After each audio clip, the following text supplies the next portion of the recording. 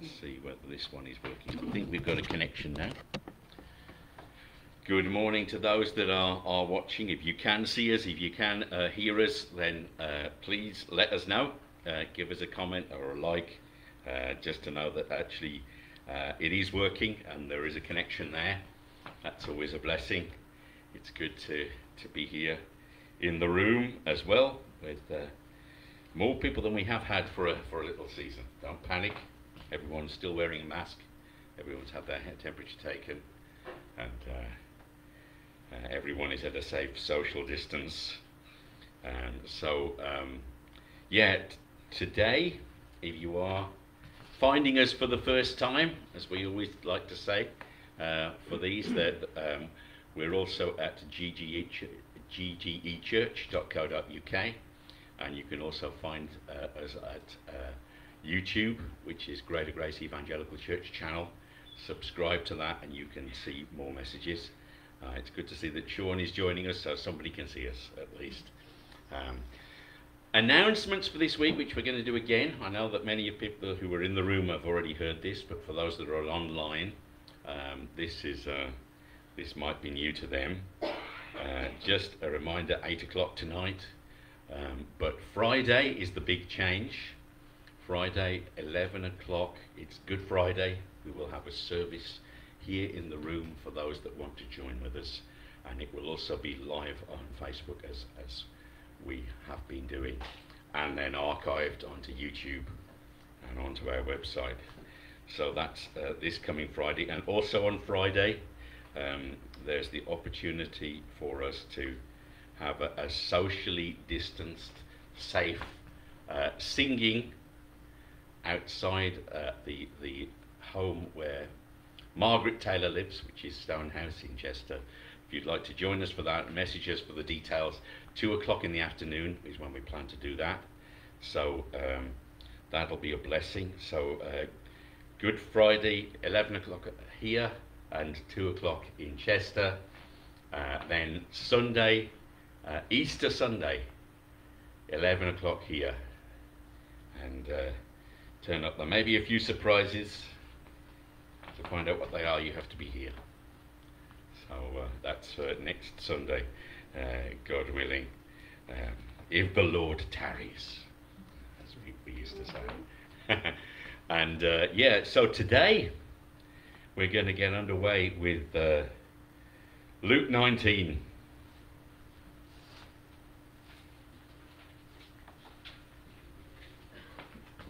Palm Sunday today. Uh,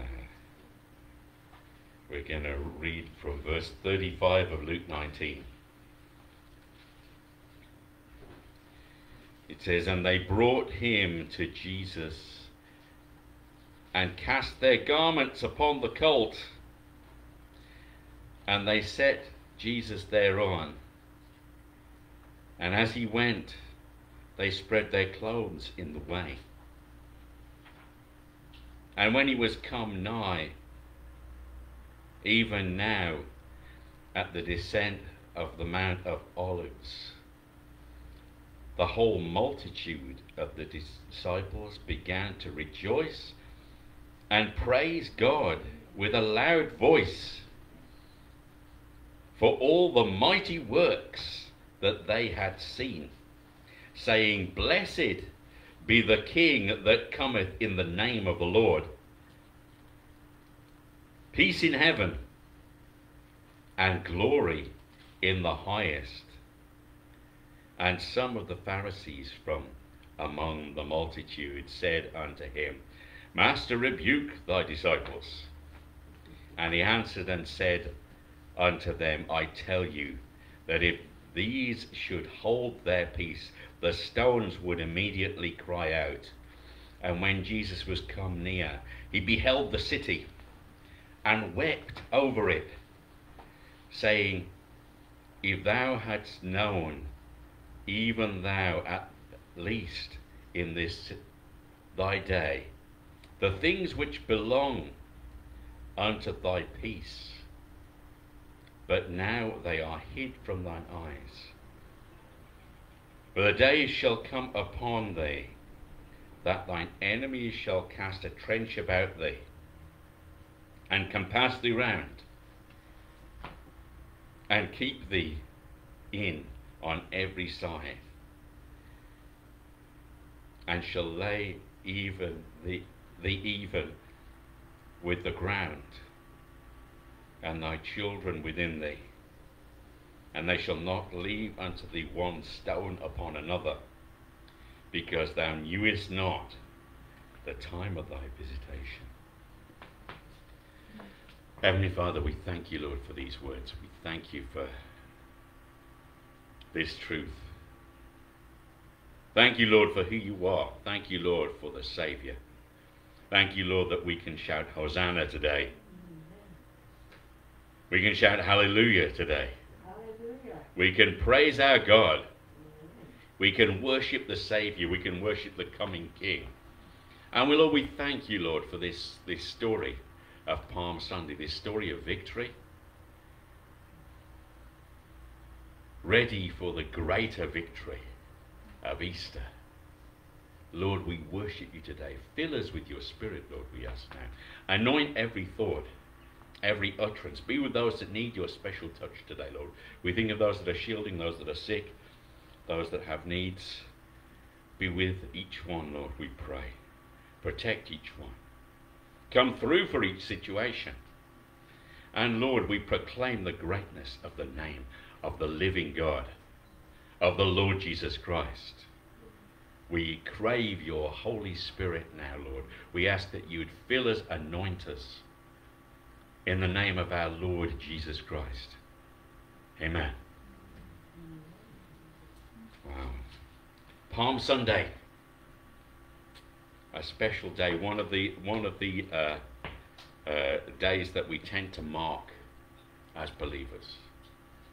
You know, in one sense, we we preach God's word, we preach the word that God is, has given us, whenever that is, whatever that is. But uh, there are a few times a year Easter, Christmas, Palm Sunday, Pentecost when maybe we focus, no, this is this. This is a this is a story we come back to. It's good for us to do that. It's good for us to have uh, landmarks that do not move, ancient landmarks. Proverbs uh, 23. You know, it's good for us to have certain things that are. I know you will say, well, Easter's a movable feast. Well, it is, but it comes, and it's there, whenever it is. It's like, well, it's still there. It's a reminder. And Palm Sunday, just another day in the church calendar. No, actually, it's more than that. You know, God thought this so vital that it is in every gospel. Uh, my wife was talking about it this morning, funnily enough, at the breakfast table. She said she read it in one of the gospels. And she said, oh, you know, uh, which gospel is it? Which gospels it is? And it's in all of them. It's in all of them. Every gospel. The triumphal entry. God thought this was so vital that He put it in every every gospel. And I was thinking about this. Why is it so important? Yeah, it's fulfillment of prophecy. You know, Jesus could have s- snuck into Jerusalem. He could have just wormed his way in there. He could have gone in quietly. You know, mm-hmm. that, that you know the, the, the, the fact that he had to be in Jerusalem. He could have gone in without any fuss. He could have gone in without any ceremony. But no, he didn't. He could have gone in unnoticed. He could have gone into a jeering mob. He could have gone in there to, uh, to, uh, to people who hated him. He could have gone in there to the Pharisees uh, shouting abuse at him. He could have gone in there to, a, to a, a company of people who were not receptive. But he didn't. He went in there in victory. He went in there in triumph. Why is this? Was it just to add extra drama to the story? sometimes people emphasize that. Um, that, oh, well, Jesus was there, he was celebrated one week, and then within within the week he's, be, he's being taken to the cross, and, and people are crying out, Crucify him. You know, the world likes to make out, well, it's a dramatic fall from grace. It's like the tabloid newspapers that put people up on a pedestal one week and then tear them down the next. Is this what's happening? No, it's not that. That's not the point of it at all, is it? It's not just to add extra melodrama to the story of Easter. No, it is vital. It's a fulfillment of prophecy, as Martina just pointed out. Yeah, it's, it's vital. You look at Zechariah 9 9.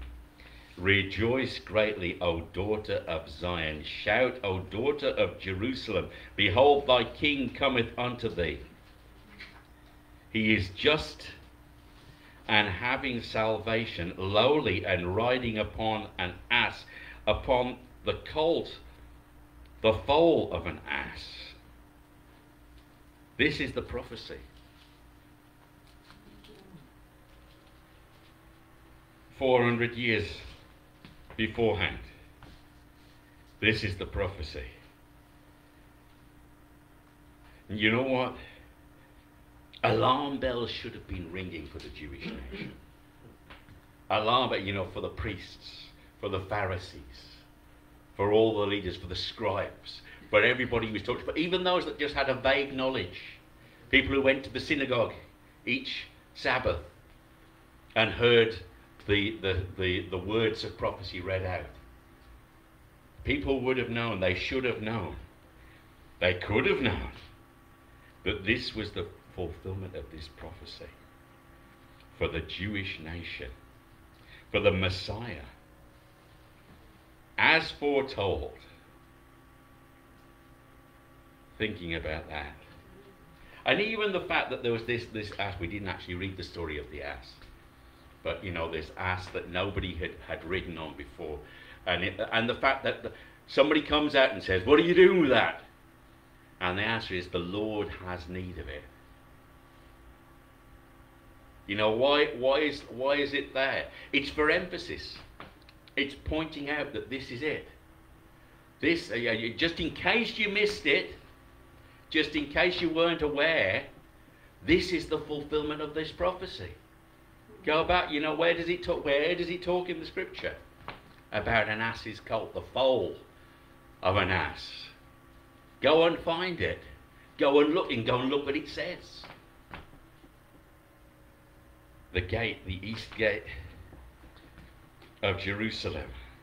Again, it's mentioned in the book of Ezekiel. It's fulfillment of prophecy. Messiah coming as just as it's foretold. Messiah, God making it very clear, God emphasizing it and saying, look, this ass that hasn't been written on, this young colt, he's not coming in in warfare, he's not coming on a camel, he's not coming uh, in a big horse, he's not coming on a tractor, not coming in a tank not coming on a 2CV. No, it's like it, no, it's it's this is it. It's it's specific prophecy. It's specific answer to prophecy. This is it. This is your Messiah. This is your King coming, daughter of Zion. The daughters of Jerusalem, come and notice this. The Lord has need of it. The Lord has need of you today. That's it. The Lord has need of you today as well. Maybe you feel like a donkey. I know I do a lot of the time. But you know what? the, the, Lord has, the Lord has need of us. It's a clear message. And also, it's a clear message of victory. It's a clear message of good news. The gospel that is coming, it's going to be good news. Joy, rejoicing. You know, sing, that's what it says, isn't it?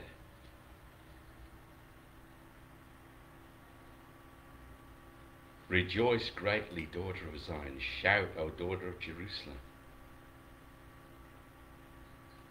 This is the point. Make a noise. Make a noise in joy. Make a joyful noise to the Lord. This is it. You know, in one sense, you think about it, the story of Easter. It could be very dour. Good Friday, we will be focusing on the crucifixion. In one sense, we always focus on the crucifixion, on the cost that came with the price that was paid. The story of, of, of Easter could be very dour. It could be the grave. It could be the horror. It could be the tragedy. It could even be portrayed as a reluctant Jesus going in there. But no, it's not. It's a, it's a, a Jesus going into the city with joy, going into the city with expectation, going into the, the city and causing excitement, causing a stir. This is the point. Not, uh, not somebody smuggled into the city, not somebody going in facing a jeering crowd, but no, somebody going in in victory. Wow. Oh, you see, but it all went wrong, didn't it? You know, Jesus was very popular, and then he said some things that people didn't like. And then, you know, the popularity, we went down in the popularity polls. No, that's not the case. That's not what it's about at all. No, it's God's perfect plan. It's God's perfect plan throughout history. Oh, it was trouble waiting to happen. Oh, you know, you get those disciples in there, and you get all the, the religious authority. Oh, it's just it's gonna it's gonna cause trouble. And then you've got the Romans in there as well. It's gonna be trouble. No, it's not about that. It's not circumstantial. This is the thing. Palm Sunday Easter, it's not just, Jesus is not just the victim of circumstances. He's the fulfiller of God's perfect plan. He's the obedient servant. He's the one, he's the lamb to be offered. He's the one slain before the foundation of the earth.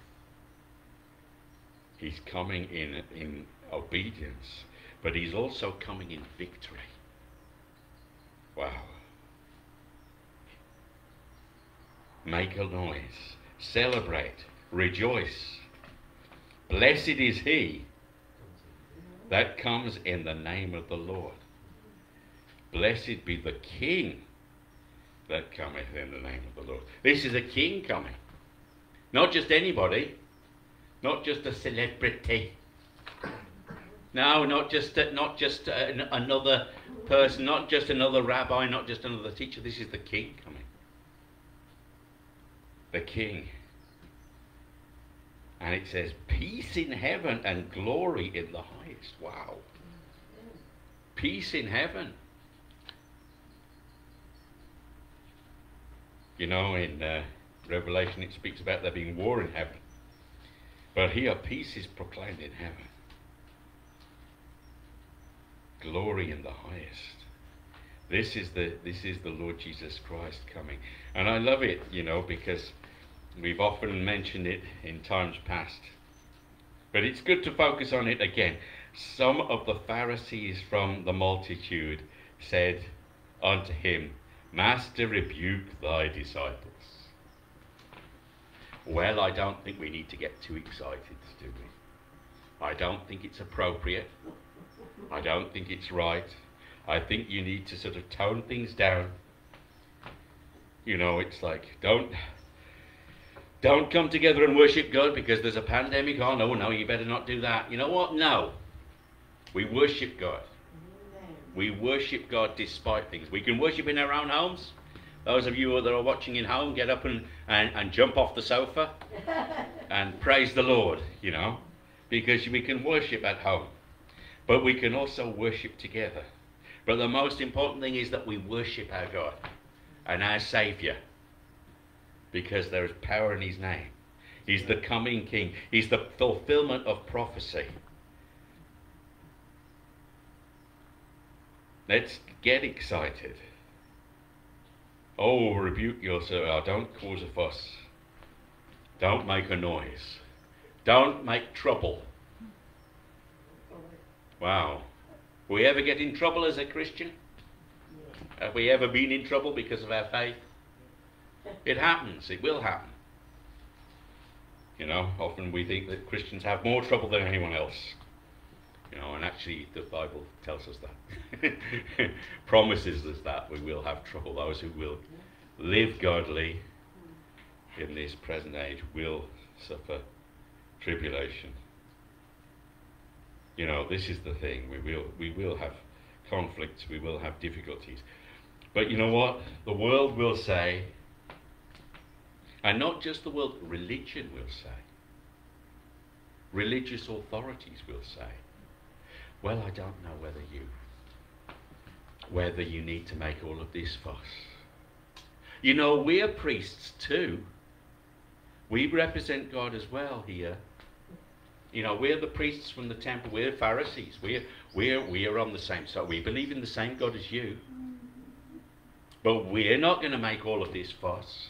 We're not going to cause all of this trouble. We're not going to shout in the street. And you know what? It's true. Religious authority will do that. And even our own religious heart sometimes. I have to catch myself. Because you know what? I can become I can become religious in my attitude rather than receiving the grace of God. I could live in works, I could live in my own religious attitude, I can live by the law if I'm not careful. But there is freedom in the Lord Jesus Christ. And you know what? This tonight, this today, it's a story of freedom. It's a story of the Lord Jesus Christ coming in freedom and making free those that are prepared to, to worship Him. And it's like that is the story of the gospel. Jesus Christ crucified, but Jesus Christ risen from the dead. That actually what we can be free from guilt, free from anxiety, free from our past, free from oppression, free from persecution, even. You can say, well, you don't escape the persecution. No, but we can be free in the persecution. We can have a measure of freedom despite what people say to us, despite what people do to us. We have, we have freedom. And I like this because Jesus answered and said unto them, I tell you that if these should hold their peace, the stones would immediately cry out. Wow. I was just thinking about that. The stones. The stones would cry out. Wow. 1 Samuel 17:40 remember that? David went to the brook and collected smooth stones from the brook. Let's see so it says and he took his staff in his hand and chose him five smooth stones out of the brook and put them in a shepherd's bag which he had even in a scrip and his sling was in his hand, and he drew near to the Philistine. Wow. Those five smooth stones that were about to, one of them was about to go into the forehead of Goliath. Those smooth stones that were going to slay the enemy. What happened to those stones? Did they get thrown down, you say, well, it wasn't the same place. But who knows? One of those stones could have been kicked along. One of those stones could have been the same stones that would have cried out. Those stones were a testimony in the, in the life of David. Uh, those stones were a victory. You know, maybe when, when Jesus says the stones would have cried out, Maybe that's what he's thinking about. Genesis 28:18, remember that?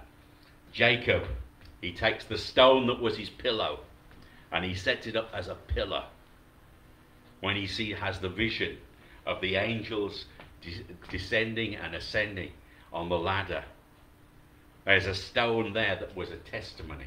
There's a stone there that was a, a, a, a, a marker to God's faithfulness and to what God had done. Remember Ebenezer, 1 Samuel uh, 7 12. Samuel sets up a stone, Ebenezer, as a stone of witness, as a stone of help. And it's like, yes, that stone was there as a witness to what God had done for the nation of Israel, to God's faithfulness. A stone like that could cry out. A stone like that could be a testimony to what God was doing. Psalm 118, 22. The stone which the builders refused is become the headstone of the corner. This is the Lord's doing. It is marvelous in our eyes. Wow. Think about that for a minute. That stone that the builders had rejected in the building of the temple. There was a stone that was that was cut out without hands. It was rejected for not fitting anywhere until the temple was finished. And then the very last piece, the very top stone, the capstone, the most prominent piece of, of stone in the whole building they realized this last piece of stone that had been thrown aside because it was cut into a peculiar shape. Why would anybody cut it like that? It's ridiculous. It was a perfect fit. It was the perfect fit for the temple to be completed. The Lord Jesus Christ, the stone that the builders rejected, became the perfect fit to say, It is finished. His temple is complete. Think about that as well. 1 Peter 2, verse 4, it says, to, co- to whom coming as unto living stones, disallowed even of men, but chosen of God and precious, ye also, as lively stones, are built up a spiritual house and holy priesthood to offer up spiritual sacrifices acceptable to God by Jesus Christ. Wherefore also is contained in the scripture Behold, I lay in Zion a chief cornerstone, elect, precious, and that he that believeth on him shall not be confounded. Unto you, therefore, which believe, he is precious. Unto them which be disobedient, the stone which the builders disallowed, the same is made the head of the corner. Wow. A stone of stumbling and a rock of offense even to them which which stumble at the word, being disobedient, whereunto also they were appointed. Wow, this same verse quoted by the Apostle Peter, telling us that actually, you know what, we are lively stones. We are part of God's building. We are being built up into a spiritual house. We're another brick in the wall. We're, uh, we're, put, we're put together. God is making us, we, God is building his temple, and he is the chief cornerstone. And yes, a stone of stumbling. Some people stumble at the idea of Jesus Christ. Some people stumble at the name of Jesus Christ. Some people are get offended a rock of offense. But to those that are living stones like ourselves, we know the name of Jesus. He's precious. And he's the, he's the one that holds it all together. Wow.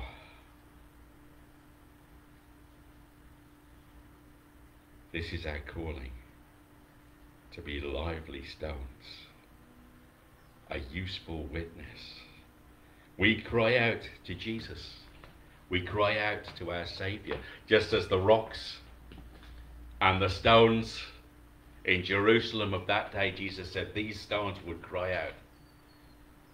They didn't need to because people were praising the Lord. People were praising the Lord Jesus Christ. They were lifting up his name. And for us, you know what? If we keep silent, God could do a miracle. He could make the stones cry out. But you know what? He doesn't need to. Why? Because we're a people who proclaims the Lord Jesus Christ. We're a people who goes out with a witness, with a testimony. We sing, we praise, we worship, we lift up the name of our Jesus, our Saviour, the glorious one. And there's no need for God to open the mouth of a stone because he has his living people, his living stones on the earth as a testimony to the Lord Jesus Christ. Wow. You know, the disciples, they, they admired the, the stones in the temple. That's in chapter 21 of Luke you know, see what stones are these, and also it, I think it's in Mark as well, um, maybe uh, Mark 13 and uh, Matthew 24. The disciples, they admired the stones of the temple. Jesus said, You know what? There's not one stone that will be left upon another. It's not the outward building, it's not the outward building that is important. It's not the, the, the impressive, oh, look at, the, look at these things. No, it's the heart. Religion builds up physical stones, doesn't it? There's a church across the road. God bless them. I did hear Grace preach there. Praise the Lord for that. Uh, one time I was there, they, they did preach on grace. So God bless them for that. It's an old stone building now. We don't have an old stone building. But in one sense, you know what? We don't need an old stone building. Because Jesus looked at the, at the temple in Jerusalem and he wept over it. Because we know, actually, maybe we'll talk about a little bit about that tonight, but we know that actually he had to cleanse that temple. It wasn't glorifying to God. And he, we know that actually the stones are not there anymore. There isn't a stone laid upon another. But you know what? There are those that shout out, Hosanna in the highest. There are those that are a testimony to the living God. There are those that are a testimony as living stones. It's us. Why? Because we know our Saviour. We know the victorious Saviour who came into the city. God had to do it. God had to do it in victory. He had to show that this was a this was a victorious thing, not a hiding away, not a not a, a controversial thing. No, this was a joy. This was a blessing. This was power. We'll speak more about that tonight, maybe, but uh, let's pray. Heavenly Father, we thank you, Lord. We worship you, Lord, that we have a Saviour who is the God of victory, who was able to go into Jerusalem in victory, who was able actually to submit to the cross in victory, and who was able to come out of the tomb in victory. And Lord, we thank you that you've given us hearts to sing. You've given us mouths to open as a testimony. You've given us the, the chance to rejoice as your people together. Lord, we thank you, we praise you, and we worship you today because you are the completer of the work.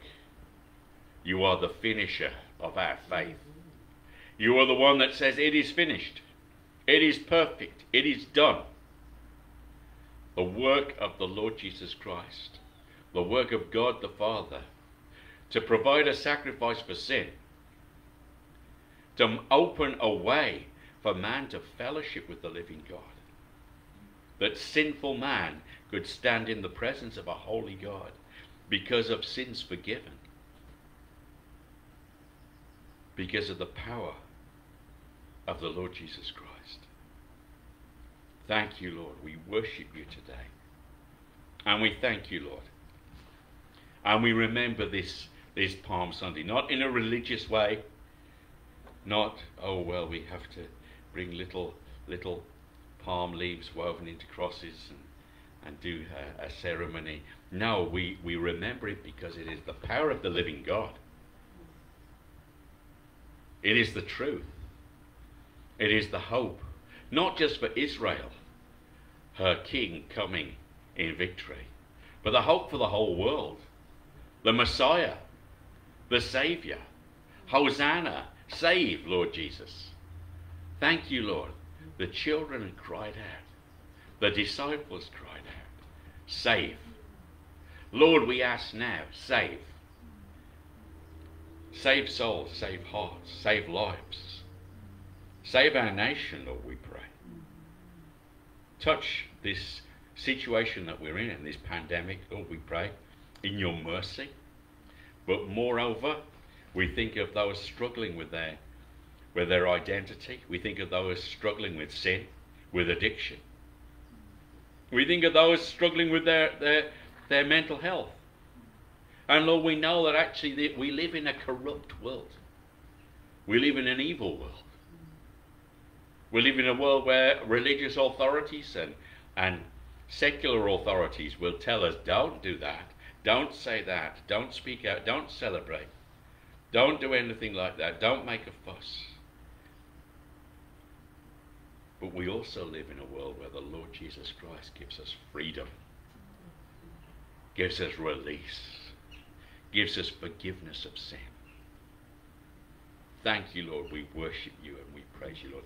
If there's anyone watching, anyone listening in, who has never trusted in the Lord Jesus Christ as their Saviour, who doesn't know what it means to trust in the living God and to be released and to be made whole. Lord, we just pray that this would be the day that they say, Lord, come into my heart. Fill me with your spirit. I need you. I need forgiveness. I'm a sinner. I need a God. I need a Saviour. I need a King. I need a power outside of self. Self will not do it. And I trust you, Lord. And I know that you love me because you've proved that your love for me is forever. And I worship you now.